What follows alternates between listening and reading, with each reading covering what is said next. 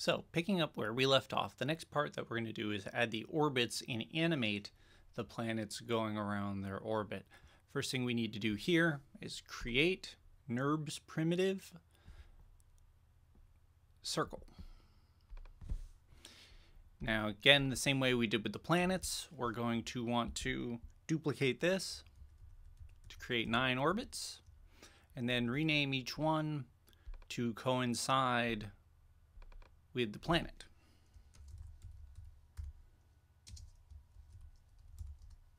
Now, if you notice, when you type a space in Maya, it becomes an underscore. The underscores replace spaces in all cases. That's why up top you can see we did the solar system. We did it with the underscore. We want to have that um, to keep it consistent. So go ahead and name all of these uh, the planet name underscore orbit.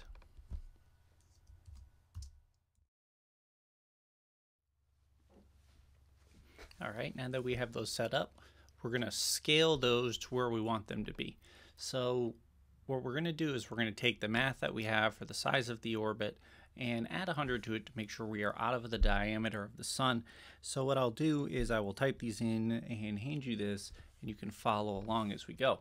First thing we're going to do is go back to the channel box. We're going to select the Mercury orbit. We're going to scale this to 104.163. Venus. We're going to scale the orbit to 107.767. Earth. We're going to scale to 110.745.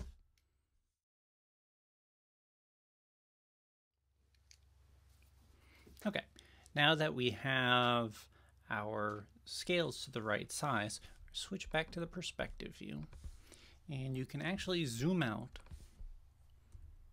and see how wide these go. Now this is a good example of the size and scale that we're working with here. This is a rather large model. So there are going to be times that you're going to want to select things over here instead of selecting in the viewport.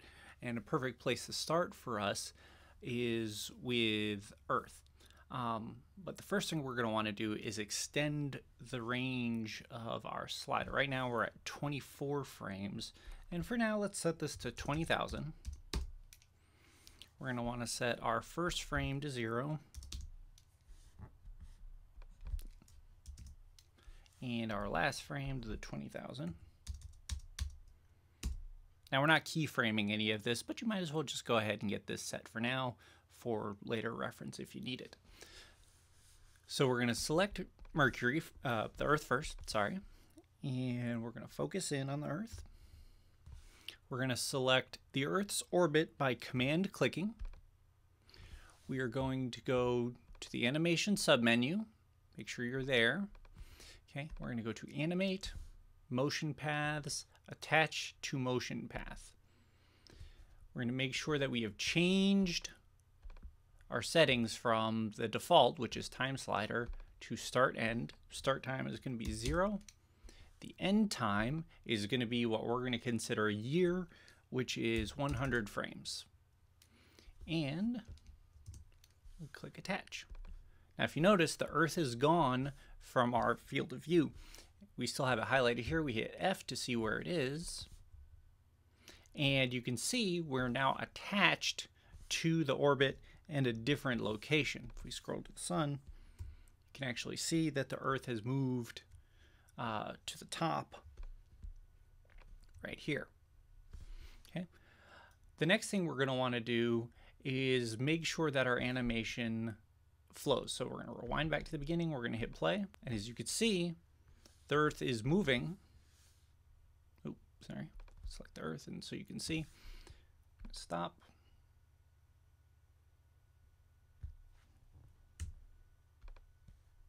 You'll actually be able to watch the Earth move around. But notice it has stopped because we are way past the 100 frames that we set. You see it moving around here. And once we hit 100 frames, we are stopped. So what we're going to want to do is cycle this and repeat this uh, to infinity. To do that, we keep Earth selected, go to Window, Animation Editors, Graph Editor, make sure that the Earth is selected, if hit F to focus, and now in 2013 I have mine set to uh, default to a curve. So first thing we're going to need to do is change our tangents and we're going to want a linear tangent. And that means it goes directly from one to the other. There's no ramp going in or a ramp coming out. Next thing we're going to do is go to curves, post infinity, cycle. Now, when we rewind here, our planet should go all the way around until infinity. Notice we have circled all the way past once, twice, and a third time, okay? hit escape to stop, rewind back, and that's how we're going to repeat for all of these other planets. So one more time, we're going to take, we're going to start with Mercury. We're going to zoom in on it so we can get some sort of sense of where we're at. We're going to go to the Mercury orbit by command clicking, selecting it. animate, motion paths, attach to motion paths options. For Mercury, we're going to use an end time of 24. And We're going to click attach. Now, if we notice it is moved, then we have been successful. We select Mercury again, hit F, and move. And we notice that it is attached to the path. We're going to go to Window, Animation Editors, Graph Editor, select all of the tangents by marquee selecting around them. These are tangents here. We're going to make sure that they are linear. Curves, post infinity, cycle. And if we press play, scroll out, we should see Mercury spinning around at the same time as Earth, going at its own speed because of course it's closer. One more time just to make sure you have this. Venus, we're going to select Venus, and then we're going to select its orbit. Oh, sorry. If we select Venus first, we hit F, we can focus in on it. Command uh, select its orbit animate, motion to paths, attach to motion path. Now for Venus, we are going to use 62 is our end time. And click attach. Again, if it is moved, it has done what it needed to do. We select it, make sure that we are attached and it is on the line.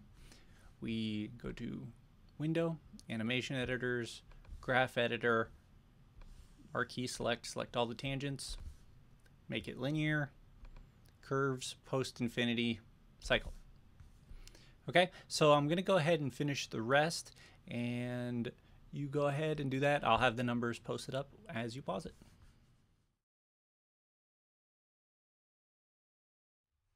Okay, good.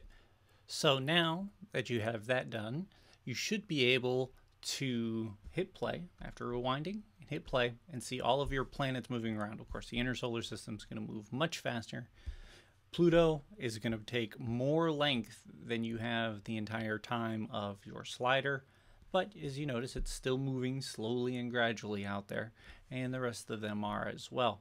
Now, the next thing that we're going to want to do is we want to create a sense of moon orbits.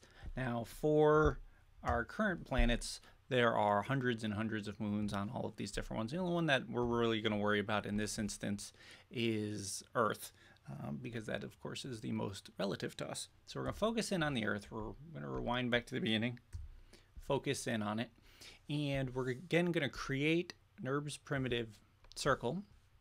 All right, we're going to go to the top view, and we're going to drag it out to where our Earth is by holding the X down and lining it up here. Then going to focus in on it. And what we're going to do is without holding the X, we're just going to move the orbit around. I suggest scaling it up a little bit, selecting the scale tool. Hmm, say right around there would be good. 1.35, I guess, is fair enough. Again, we go back to the perspective. We can keep, take a look. Yeah, that'll work for this example and what we're looking for. Okay. Next thing we're going to want to do is create polygon primitives and create a sphere. And this is going to be our moon. So let's name that moon. And then the NURB circle that we created, we should call moon.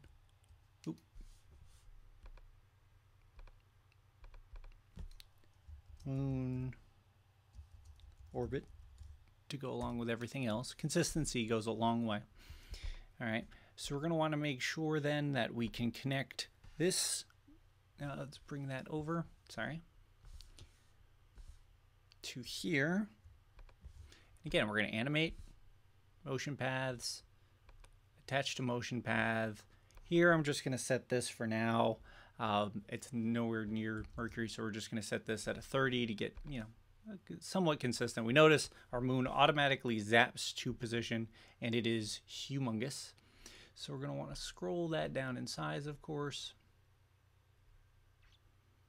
Now the moon is actually, I want to say 0.22 relative size. Now, of course, this is a little bit off scale, but for what we're going for, this should work nicely.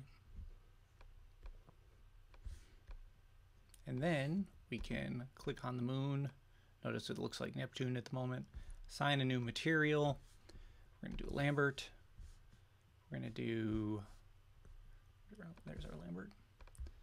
We're going to do file. The file we're going to choose is the moon.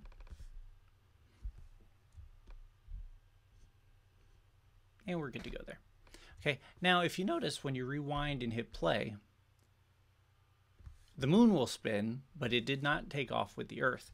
So what we need to do is once again, the same way we did with Saturn and attach the ring, we need to attach the moon's orbit to Earth. So we select the moon's orbit, we middle click and drag it up and connect it to the Earth so that it is connected together.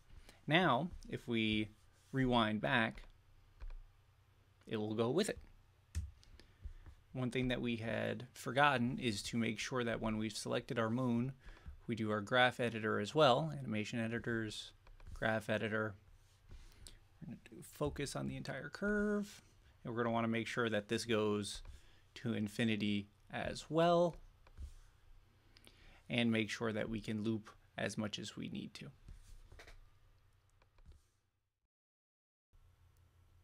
So with everything zoomed back out and ready to go, we can rewind, hit play, and you can actually follow as everything moves around. We've got a nice orbit going. We've got our moon orbiting around our planet, and that'll be the end of step two. If we take a quick render here, we can probably see a nice example of our basic solar system. In the next uh, example, we're going to adjust the lighting adjust the particles, create some stars in the background, and add an asteroid belt.